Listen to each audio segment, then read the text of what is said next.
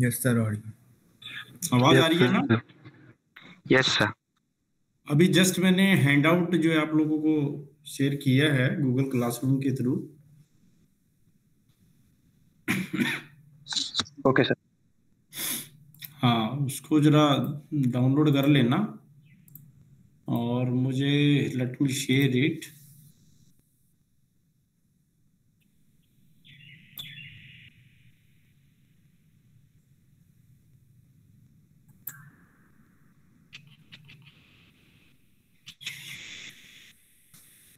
screen दिख रही है? Yes sir hmm. So this is the course design against fracture and fatigue okay basically we will be talking here fracture fracture mechanics okay yes sir any idea about fracture mechanics आपने पढ़ा होगा I think design में कहीं पे। What is that और no idea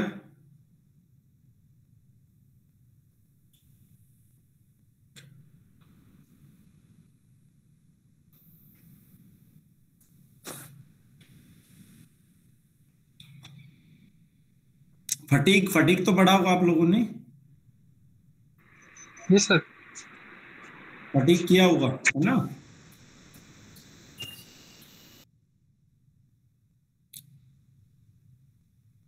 तो sir it is the it is the propagation of cracks in the material hmm बिल्कुल। It is the propagation of crack good you know that uh, when we studied mechanics of solid or theory of elasticity in which you you have done in the last uh, semester. So there uh, you might have talked about certain assumptions. Okay? What assumptions were made for the theory of elasticity course sir isotropic material isotropic homogeneous material हाँ yes sir and the prismatic area और if there is a hole then hole is very less than their boundary width material sir mostly we study for prismatic area prismatic bar hmm और area but uh, if there is a hole in prismatic area if we made a hole and uh, so the size of the hole uh, will be very less than the width of the uh, width of the uh, uh, Okay. width of that shaft or bar Hmm. Hmm. So you you would have done like material is uh, considered to be homogeneous, isotropic, linear elastic, etc. In addition to that, there was one assumption that uh, you know material was considered to be continuous, right? So that was the uh, basic assumption.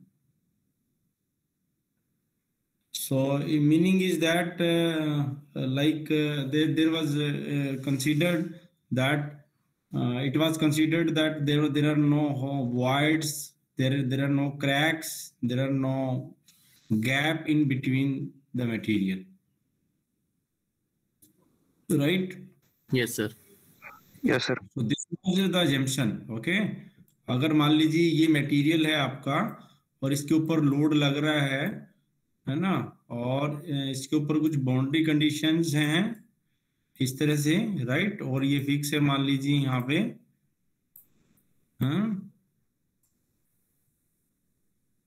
Like this okay तो जो है ऐसा नहीं है कि मतलब you know during deformation और before deformation कि यहाँ बीच में कहीं पे कोई इस तरह से क्रैक है एंड ओके सो इस तरह का जंक्शन हम लेके चलते कि the material was continuous right yes sir. तो So because of that, we could write, uh, you know, the stresses, strain, displacement as function of uh, spatial coordinates. Okay. Yes, sir. So this is what the basic assumption was. Okay. But basically, uh, material may have some kind of discontinuity that may be in terms of uh, a crack or uh, maybe small hole okay? So so that may be present okay? So the, uh, the, the fracture mechanics start with the assumption that uh, it assumes that cracks are present cracks are present right Yes, sir. so based on this assumption, fracture mechanics starts. Okay. So then, then we talk about okay, if crack is present, then uh, what is the criticality of that crack? Whether it is a critical crack, what will happen if we load, we apply load? Whether it will uh, remain of the same size, or it will uh, propagate it will um, like it will increase in size right? And uh, what will happen? And what are the critical condition under which we'll say that yes now it is now it is uh, uh, like it is going to cause uh, the failure of the component okay?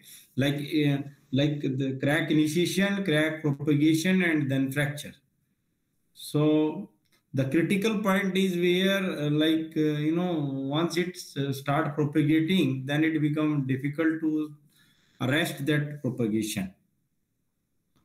So this is the basic assumption of fracture mechanics.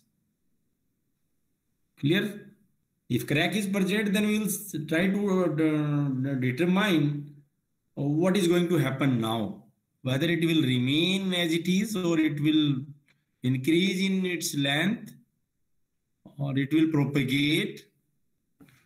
Okay? That that is what we we, we talk. Okay? Yes, sir.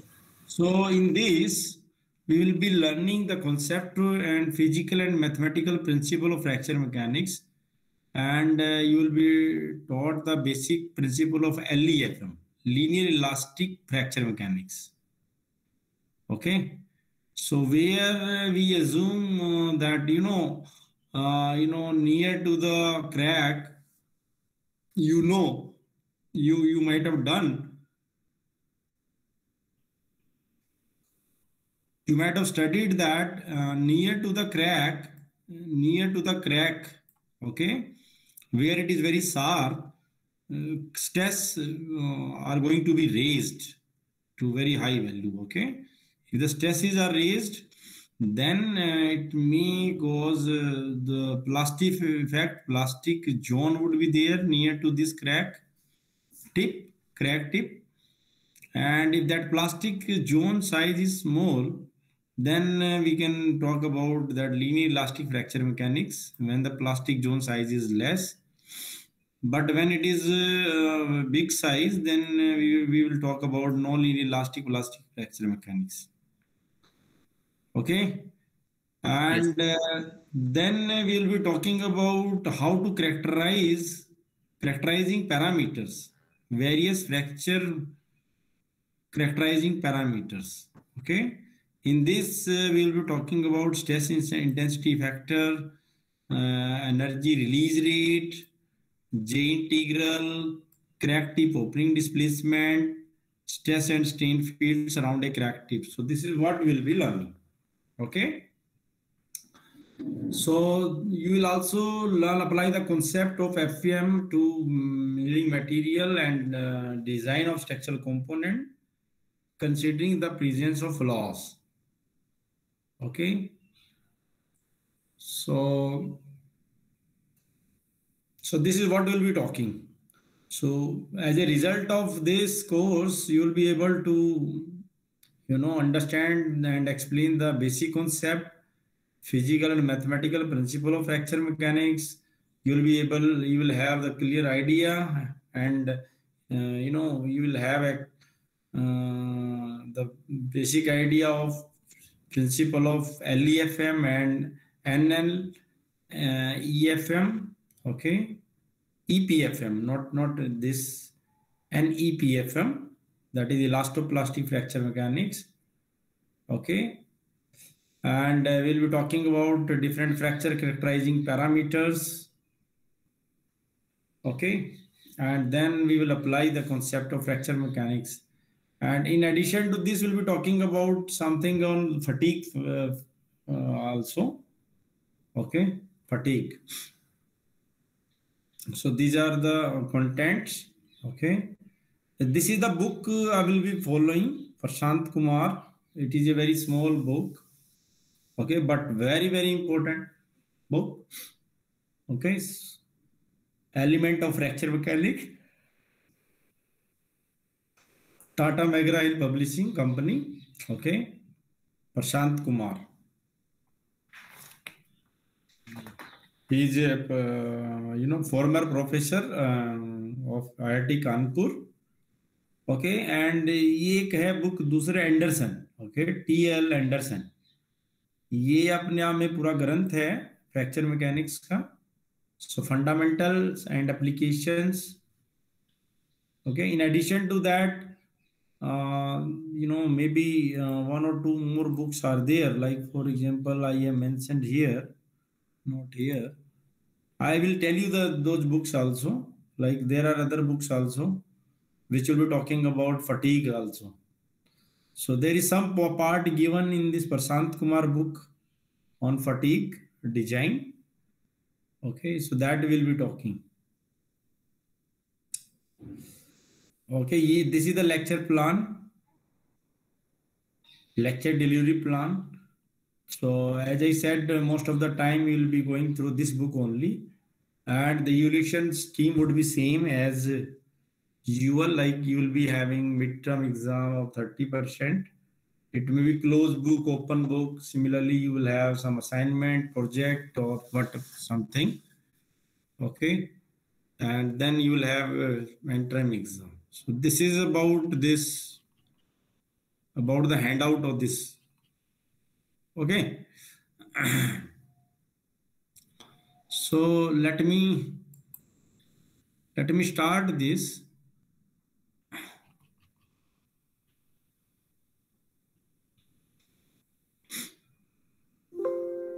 so let me start the introduction to this course okay uh, you you should know that uh, where uh, like before this World War II, World War II, so there was no existence of fracture mechanics. The fracture mechanics course came into picture only after World War II. Okay. And uh, if we look at the historical background of uh, this prior to the Industrial Revolution, before 19th century, the primary construction material were timber bricks and mortar. That that you know if you look at the history. Okay so they were relatively brittle material and they were only used for large structures and they were usually designed to be loaded in compression compression. And you should know that uh, structures loaded in compressions are uh, stable okay? As compared to you know under tensile loading. And uh, because of this like you know you may be knowing that many of the structures they have lasted for many centuries. Like if you talk about pyramids in egypt so they were loaded they are loaded in compression and because of that they could last for a long time. But later on, when the industrial revolution happens, because of uh, you know mass production of iron and steel, then ductile construction material removed the uh, earlier restriction on design, and then um, then then structures were also made which were carrying tensile stresses in addition to compression compressive loading. Okay, but but because of this change oh, some some problems had happened. Okay, because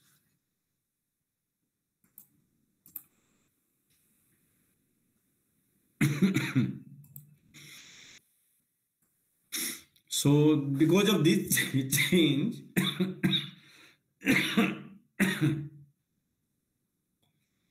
this change brought some problems associated with the tensile loaded structures. Okay? Like for example i have shown here uh, the upper one that you can see here it, it is made of bricks and mortar. Okay? And they are loaded in compression. Right? But at the below in the below figure that is the tower bridge in the london it was built in 1894 and it was made using tensile loaded steel support girders. Okay. So a steel structure would fail uh, unexpectedly at stresses well below the anticipated tensile strength. Okay. So like this was uh, this this failure of steel structure uh, was uh, caused by stresses which are well below the uh, anticipated tensile strength and one of the very famous example in the history is the Boston molasses disaster. Boston molasses disaster. Right? You can see here, it is also called Great Molasses Flood. And this actually happened, uh, this is caused by, this was caused by the rupture of a molasses tank in the Boston. Right? And it happened in January 1919 and which caused spilling of 2.3 million US gallon, approximately 8,700 meter cube, meter cube of the molasses. Okay, so there was a uh, rupture of the molasses tank, and because of that, there was a flood. Okay, and uh, that molasses that that flowed flew with uh, you know very high speed 56 kilometer per hour. And it resulted in uh, 21 deaths. And it also caused injuries to 150 people. And uh, in addition there were other you know property damage property loss. So this was the very big disaster. So this happened because of the um, you know rupture of the molasses tank okay? Uh, so thereafter what the designers uh, did so they made use of high factor of safety uh, up to 10 or more to avoid these uh, seemingly random failure okay? So this was the only way to do to avoid this kind of failure okay? Just make use of higher factor of safety. But you know that a higher factor of safety would result in uh, it would result in uh, the bulky structure okay and it it, it, it is actually not economical when we we make use of higher factor of safety. Right? Yes sir. Okay. So this is the first disaster that took place, okay? the field of fracture mechanics was not uh, present prior to World War II, okay? And you know World War II happened 1939 to 1945. Okay, there was no uh, fracture mechanics field. But cracks were uh, thought to be small at that time and they were considered to be insignificant okay and they were uh, considered not to of threat mm, they, they were not a threat to large structure like ship and aircraft. But what happened uh, what during the world war and for a short time thereafter also many ships and aircraft failed in sudden okay and in very in very in uh, explicable ways right? So this this happened actually during the World War and after uh, you know after World War Two. Okay. So many many failure happens. So it was eventually determined that failure were in the fact caused by crack in these metal structures. Okay. So this is what was uh, found after investigation that the culprit was the cracks. Okay, cracks. So then people started thinking ki how how to how to you know design under these kind of conditions. So then only the field of fracture mechanics came into existence. And uh, there are few big disasters. So that actually caused the researchers to think about you know the, these disasters and as a result of the investigation and research uh, the field of fracture mechanics came into picture. Okay? Now let us talk about the big disasters. First very big disaster that was you know liberty ship okay? So the mechanics of uh, fracture that progressed well after World War II in 1940s.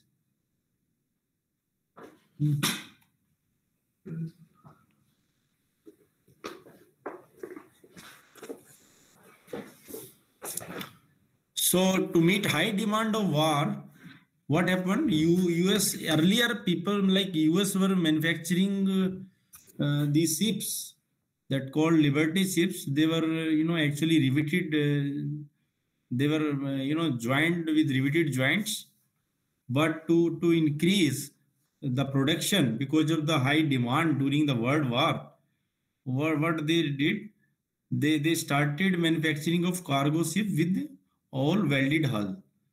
Okay, so they, they started welded joint instead of riveted joint, and they they could make uh, the ship as a single unit.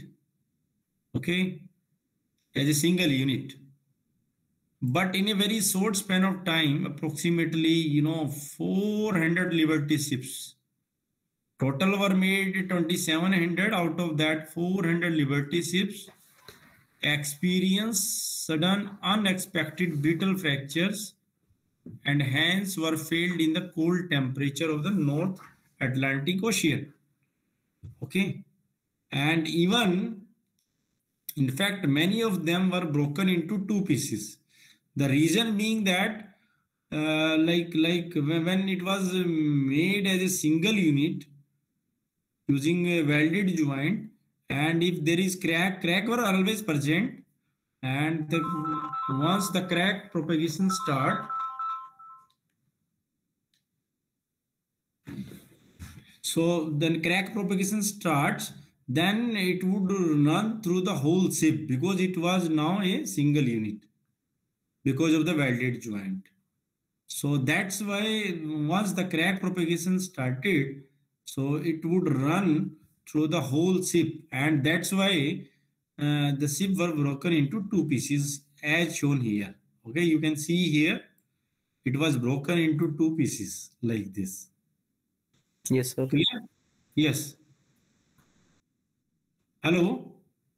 Yes, Am I sir. clear? Yes, sir. Okay. Yes, sir. This, this was the uh, very big disaster. Okay, that has happened.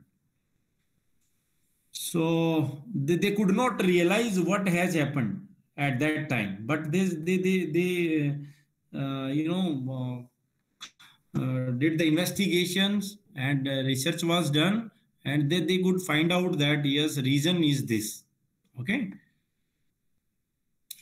Uh, However, the ships made by riveting, riveting plates did not display such failure. Why? You know, when we have two plates, okay, two plates, eh, and they they are you know they are uh, you know riveted joint. They are joined using riveted joints, right? Like this. And now let us say that there is one crack here, and it is propagating.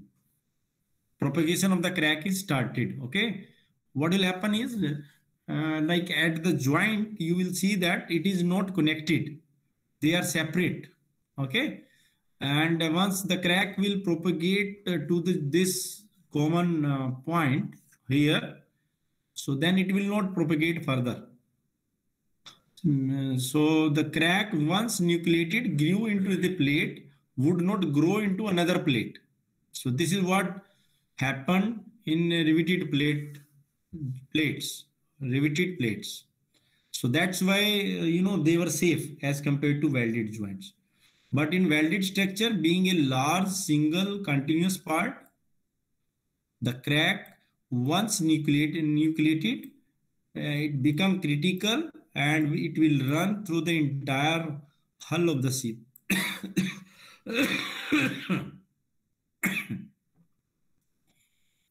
okay so this is the first this was the first disaster the second disaster happened in 1950 the UK's D. Uh, Havilland Comet is the aviation industry's most famous case of crack-related aircraft failure. What happened? Three fatal Comet 1 crashes over a 12-month period during 1953 to 1954. That led to the grounding of the entire Comet fleet. The crashes were found to be caused by cracks growing from the corner of a scare fuselage window, just shown here. Okay, from the corner of this window, that uh, that acted as you know um, that acted as uh, the point of stress concentration, and from there only cracks was you know grown. Okay, and then it goes the failure. The scare corner served as stress raiser, accelerating crack formation and growth in a fuselage stressed by pressurization. Because because you know that inside low outside pressure but high inside pressure. So that actually caused pressurization. And uh, and this pressurization is especially uh, present at the high altitude and because of that there were there were high tensile stresses and that has had resulted in you know the crack propagation from this stress uh, concentration point. Okay, by the time the redesigned Comet was back in service in 1958, so this this was you know it took four five years to come back uh, in service. But but by that time uh, you know the America this this this was present in UK but by that time, America, you know, developed this Boeing 707 and Douglas DC-8. So that actually captured the attention of public. Okay, so the, then then supremacy was uh, supreme supremacy had moved from UK to America then. So this is one uh, that window. Uh, uh, like one picture that that shows how the crack uh, you know initiated from the corner of a window in this uh, after that in 1988 aloha airlines flight 243 okay so that suffered extensive damage following an in-flight ex explosive decompression at 24,000 feet. Okay. The plane had accumulated uh, these many flight hours. Okay. Okay. So now you look at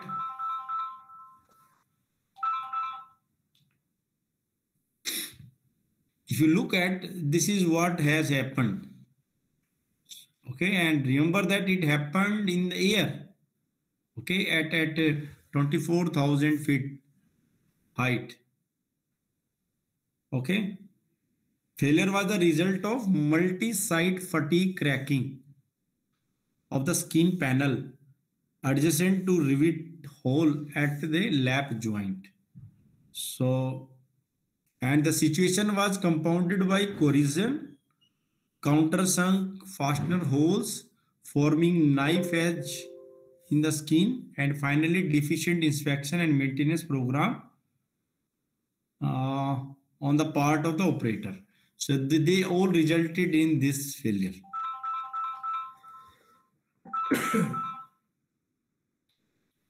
so with the development of large ships made of welded plate and high capacity jet airlines, new problem arose.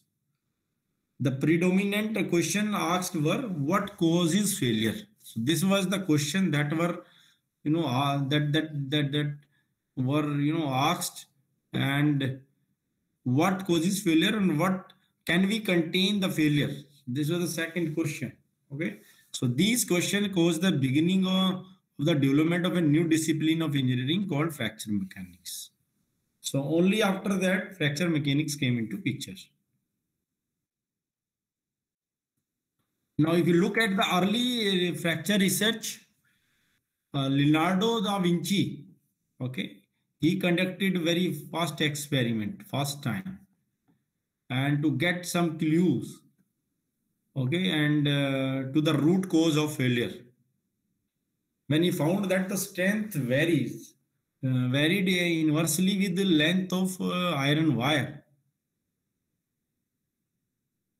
Okay. Right? The strength in vary inversely with the length of the iron wire.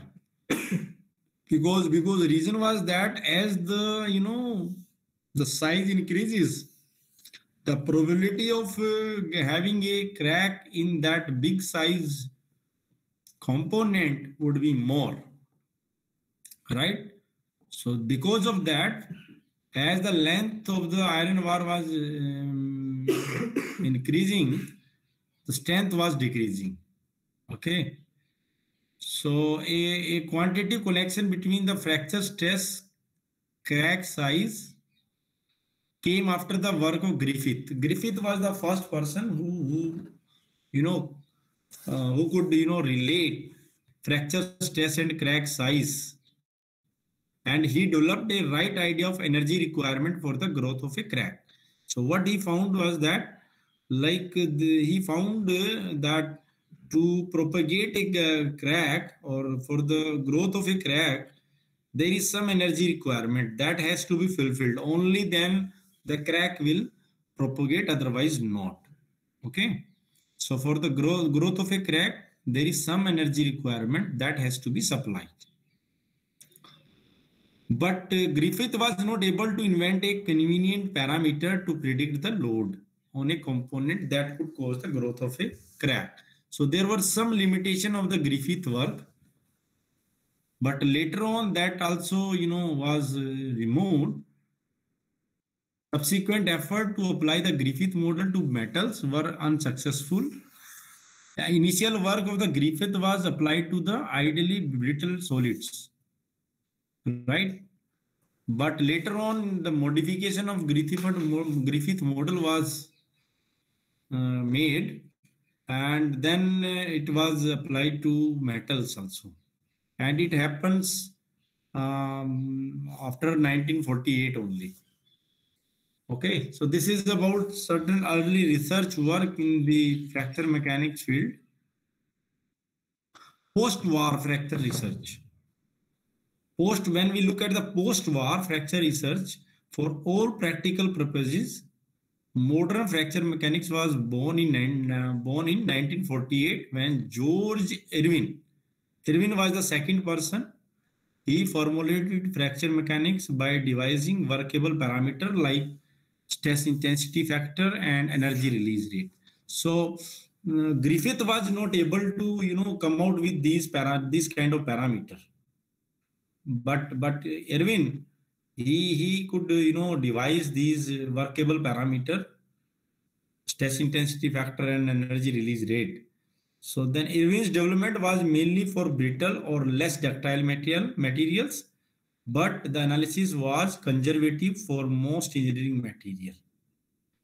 Although he applied it to brittle or less ductile materials, but let, but if he if he uh, applied to other material, this was considered to be more conservative.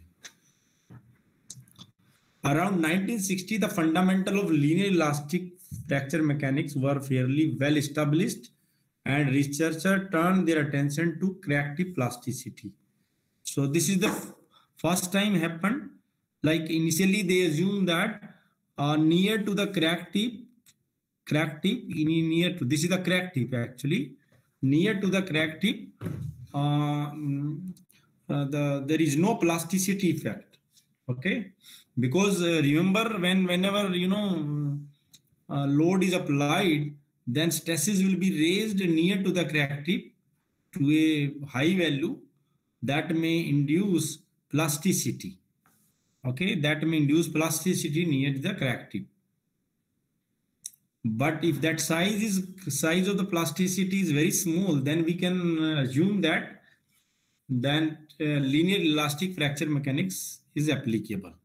Otherwise, when you know plastic uh, you know size plasticity uh, is there and plastic zone size is very large then we can't uh, we will not be able to neglect it or we will not neglect it then you will have to apply accordingly uh, linear elastoplastic fracture mechanics theory LEFM is to be valid when significant plastic deformation precedes failure that is what I told you when plastic deformation uh, happens before final failure, then you can't, you, you cannot neglect the plastic effect. So thereafter other parameter like crack tip opening displacement by Wells in 1961 and J integrals. Okay, so they came by Rice in 1968. They were developed to account for the large plastic zone at the crack tip in ductile material. Remember that uh, the materials are also going to play important role. Like for example, if it is brittle material, you know that whenever stresses will be raised, then uh, it will cause fracture of that material. Okay, there will be no plastic effect. So when we talk about brittle material, then LEFM is applicable. But when we talk about ductile materials, uh, near to the crack tip, plastic effect would be there and that uh, would uh, cause the failure of LEFM theory. Then you will have to talk about elastoplastic fracture mechanics. In 1971, Begley and Landes referred the Rice article to characterize fracture toughness of uh, nuclear pressure vessel steels with the J integral. And that led to a standard procedure for J testing of metals. So this, this all we will be talking later on, but you should know what are the um, fracture characterizing parameter, crack tip uh, opening displacement, J integral, stress intensity factor, energy release rate. So all these parameters we'll be talking later on. In an effort to apply the concept of fracture mechanics to design through a mathematical relationship between the toughness, stress and flaw size. Right? So, so this also will be talking. So we'll be um, also talking about relationship between the J integral and the tip opening displacement. So all these we'll be talking.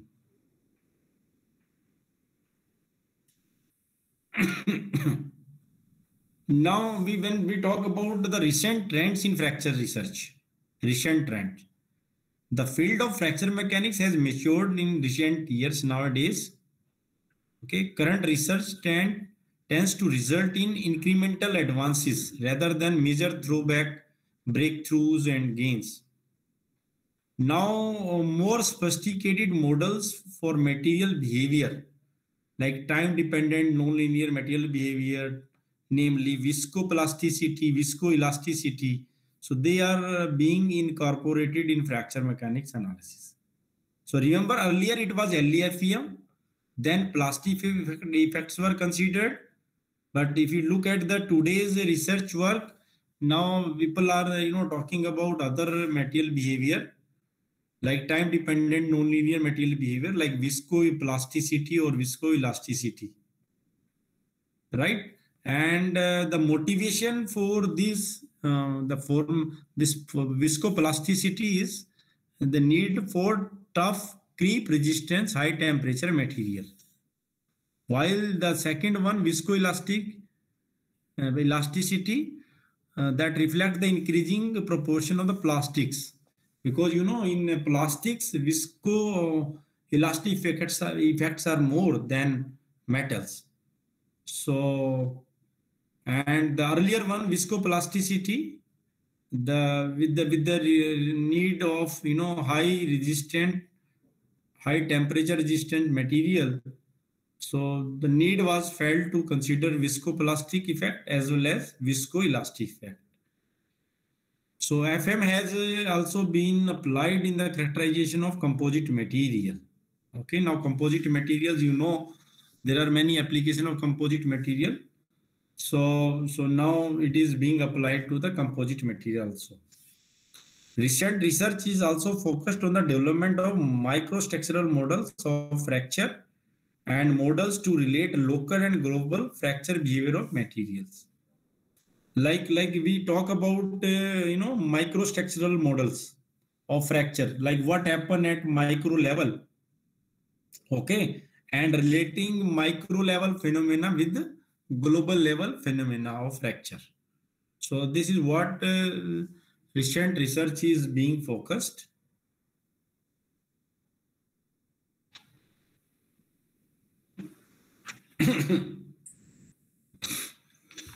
so this is what we, we talked in strength of material approach. If you look at now how that this design approach would be different. Okay.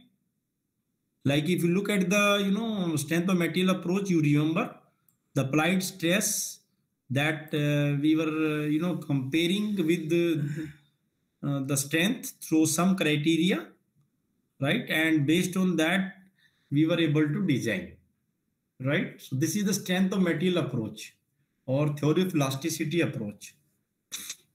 But here, in addition to applied stress, there are other parameters that would play role. That is a flaw size, that is nothing but crack size, and what is uh, uh, what is fracture toughness, which is nothing but a material property. So based on that only, we would be able to tell whether our design is safe or not. Okay, so the design approach is different when we apply fracture mechanics. So not only applied stress we talk about, uh, we, we talk about flaw size, the size of the crack present in the body. At the same time, we talk about uh, material parameter that is fracture toughness. Okay. So, so there are two alternative approaches to fracture analysis, energy criteria and stress intensity approach. Uh, these approaches are equivalent in certain circumstances. So this is what we'll be talking. So let me stop here today and I will continue with this and then formally we will start uh, this course. So this is a introduction but to get more depth about the topics that we have talked so better would be like you you just go through the google and then you can just study um, uh, liberty ship failure or boston molasses failure okay and similarly other um, major disasters to know the history or the history about fracture mechanics that how it is originated so that you can uh, you know study. Okay? Yes, sir.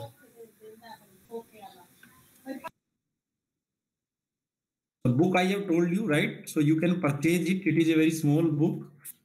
It will cost you nearly i think uh, not more than three four hundreds.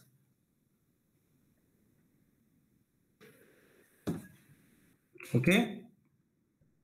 Yes, sir. Yeah so any question any doubt No, sir. Sir, when we talk about a fracture, sir, it is uh, for a material is just microscopic or macroscopic. See, we'll be talking about, uh, you know, uh, crack tip, near to the crack tip. Okay. Near to the crack tip. actually we study it at macroscopic level only we are not talking about microscopic level. Okay. okay? Yes. Okay, so microscopic level means we, we are not talking about uh, you know the constituent and all. And still we are working with the material at macroscopic level. Okay, sir.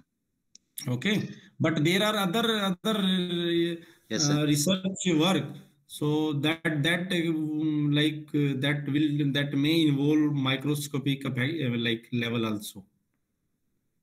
Right? Because always we try to understand that how failure is uh, fracture is happening. So once failure has happened at a macroscopic level then certainly we would be interested in knowing more about how how it has initiated how it has propagated. So then certainly you will have to go to the um, lower scale maybe micro or maybe nano also Yes, sir. okay Yes, sir.